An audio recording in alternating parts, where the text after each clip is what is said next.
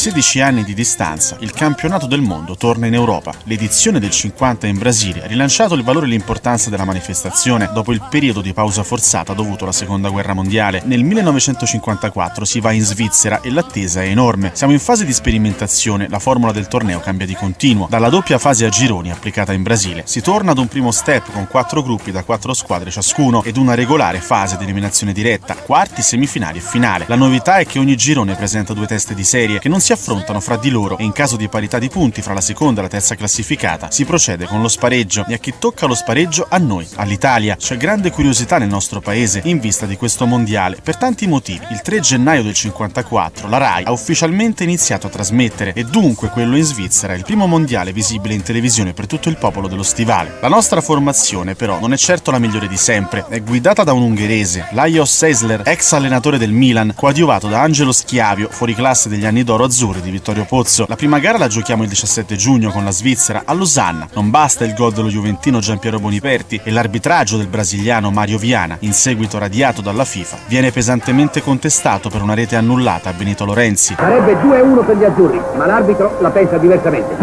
Inutili le proteste degli azzurri, inutile anche l'intervento del segnaline. La rete non è ritenuta valida. Vinciamo la seconda partita, ne rifiliamo 4 al Belgio al Lugano, ma siamo costretti, come detto, allo spareggio perché l'Inghilterra batte gli svizzeri che si ritrovano con due punti, esattamente come noi, il 23 giugno a Basilea, rivincita, ma vincono di nuovo loro 4-1 e torniamo a casa. Al rientro in Italia la federazione darà il ben servito anche al tecnico Seisler. Brasile e Jugoslavia eliminano nel girone 1, Francia e Messico. Nel girone 3 c'è l'Uruguay campione del mondo. A guidare la Celeste c'è solo uno dei due protagonisti del Maracanaso, il maestoso Juan Alberto Schiaffino, Ghigia che gioca nella Roma non viene convocato. Basta e avanza per passare il turno. Assieme agli uruguagi avanza l'Austria, fuori Scozia e Cecoslovacchia. Poi c'è il gruppo numero 2. Le esordienti Turchia e Corea del Sud vivono una bella avventura, ma vanno a casa. I coreani in particolare non fanno una gran figura, perdono 7-0 con i turchi e 9-0 con l'Ungheria.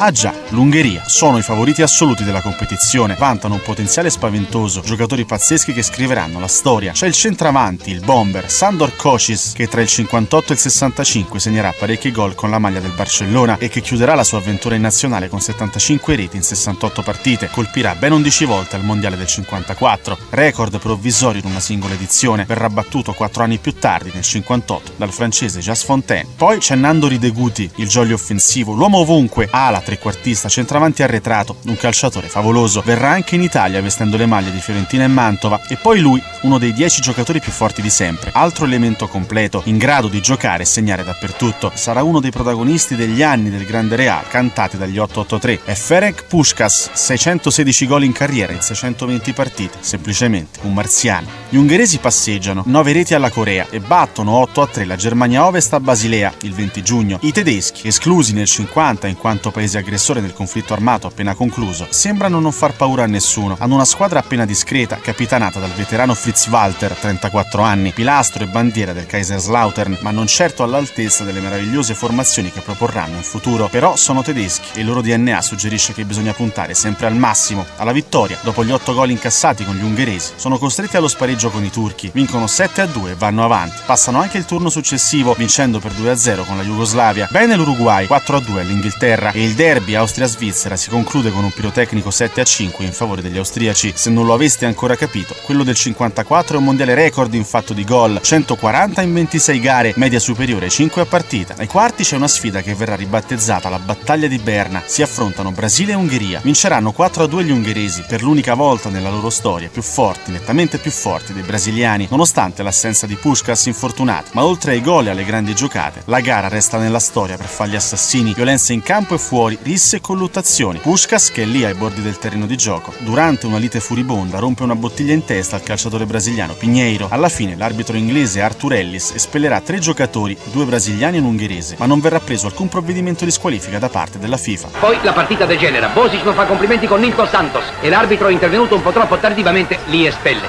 A due minuti dalla fine irrompe Kocis e il quarto gol è fatto. L'Ungheria ha eliminato l'avversario. L'Ungheria, sempre priva di Pushkas, in semifinale trova la squadra campione del mondo, l'Uruguay, secondo tutti praticamente una finale anticipata o quella che sarebbe stata la finale ideale. A fine primo tempo gli ungheresi vincono 2-0, sembra un'altra formalità espletata, ma la Celeste ha cuore, anima e tecnica, il centravanti Juan Hoberg, argentino naturalizzato uruguagio, ne fa due, si va ai supplementari e la decide con una doppietta, lo spietato Cocis.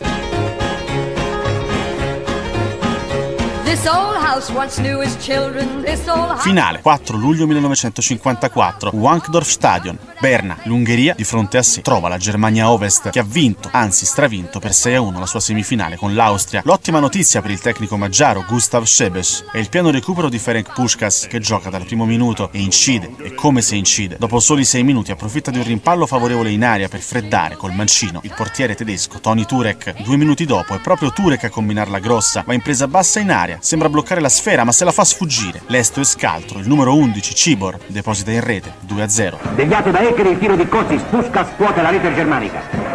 Non sono passati che 6 minuti, poi Turek si impapera su un retropassaggio di Kohlmeier e Cibor raddoppia il vantaggio. Cronaca di un trionfo annunciato. No, la Germania non ci sta. Decimo minuto, Morlock la riapre e al diciottesimo su sviluppi di corner. Una lunga palla calciata sul secondo palo diventa preda di Helmut Rahn che di destro fa 2 a 2. Al decimo sarà fatale anche agli ungheresi un retropassaggio. Si avventa Morlock e il gol è fatto. Tornano all'attacco i tedeschi che pareggeranno con l'ala destra Rahn. 4 gol in soli 18 minuti. Nel corso della partita l'Ungheria ha più volte la chance di tornare in vantaggio. Fra legni, salvataggi e miracoli di Turek, gli avversari fanno resistenza e all'84esimo di nuovo Rahn trova il sinistro velenoso che porta i tedeschi in vantaggio. Poi prevale la freschezza dei tedeschi e a 6 minuti dalla fine sul centro di Schaefer e corta respinta di Lantos, Ran folgora la rete di Grossi. Invano l'Ungheria spenderà le ultime energie. Il gol non convalidato a Puskas per un dubbio fuorigioco all'88esimo e l'ennesima parata di Turek all'ultimo secondo sono le ultime emozioni della sfida di Berna. Vince la Germania e non mancheranno sospetti e polemiche circa il possibile utilizzo di sostanze dopanti da parte della squadra del CT Herberger. Di certo nessuno, ma davvero nessuno, poteva aspettarsi un simile epilogo, quello del 4 luglio del 54. Passerà ufficialmente alla storia come il miracolo di Berna.